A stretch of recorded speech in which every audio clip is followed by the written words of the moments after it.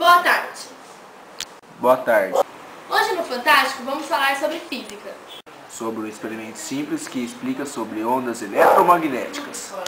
Em 1816, o cientista britânico Michael Faraday comprovou o fenômeno da blindagem eletrostática através do experimento que ficou conhecido como gaiola de Faraday. Onde Faraday sofre uma descarga elétrica no interior de uma jaula e nada sofre.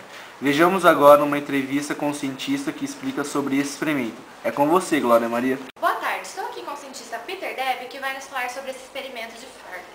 É, hum, boa tarde.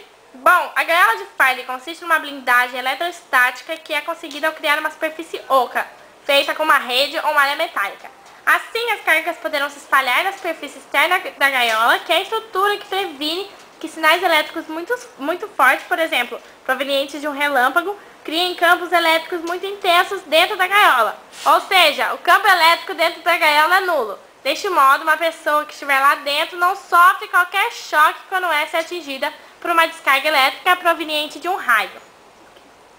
E o que exatamente Faraday faz para conseguir isso? Ele entrou em uma gaiola chicate, deu uma descarga elétrica, mas não foi atingido, pois o campo elétrico dentro da gaiola se tornou nulo.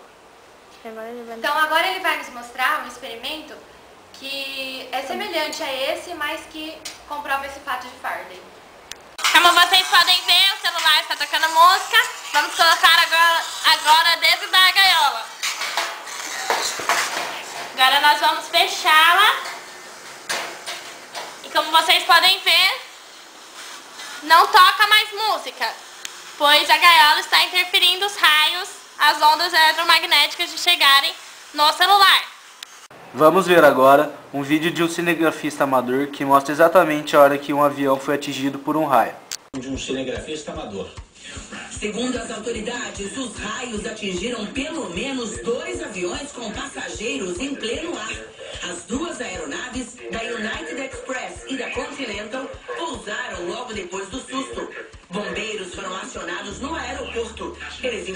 Que ninguém ficou ferido.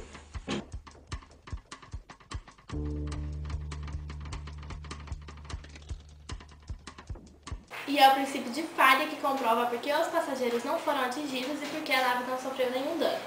Pois o campo eletromagnético no interior da nave estava nulo, fazendo com que os viajantes de um veículo ou de uma aeronave permaneçam seguros em condições adversas de tempestades elétricas e também bloqueiam o recebimento de ondas eletromagnéticas, como ondas de rádio, TV e telefonia móvel.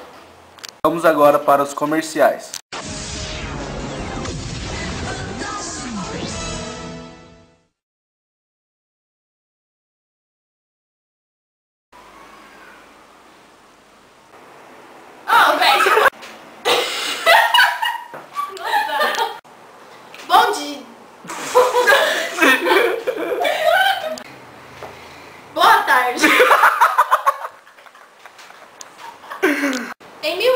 1816, o cientista britânico Michael Faraday comprovou o fenômeno da eletricidade.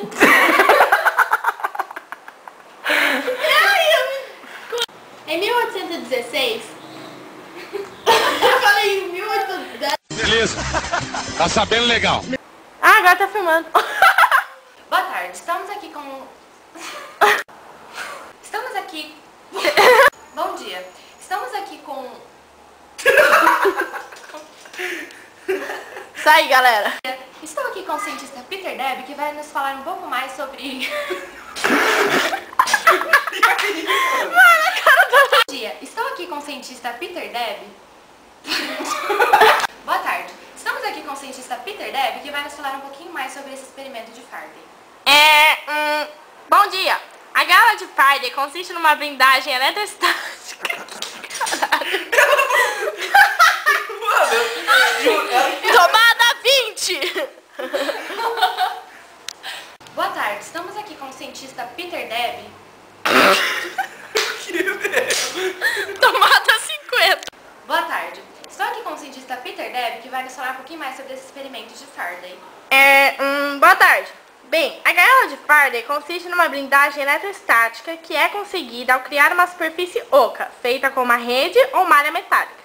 Assim, as cargas poderão se espalhar... inferno! Tá seco, tá grosso. que eu vou fazer? Boa tarde. Não, faz o mais normal. Boa tarde. Não, velho. Assim, ó, Luísa. Boa tarde. De chinês. Vai, tá vai. gravando isso, viu? Making off. Boa tarde. Boa tarde. Três e aí a gente vai. Vai.